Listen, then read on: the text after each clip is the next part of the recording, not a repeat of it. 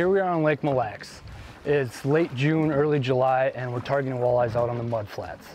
Unlike early spring where you target them more shallow, where they're up spawning, this time of year they like to move out to the mud and chase mayflies out in the mud that hatch, and the walleyes just love to be out here.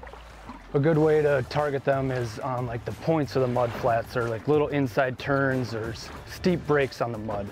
The big walleyes just like to, to hang out there and it's a good place for them to be. So next time you're out on Lake Mille Lacs, try to target them in those areas and you will have great success. Thanks for watching. Hit the subscribe button and click on the bell to stay up to date with the latest tips and techniques to help you get the next bite.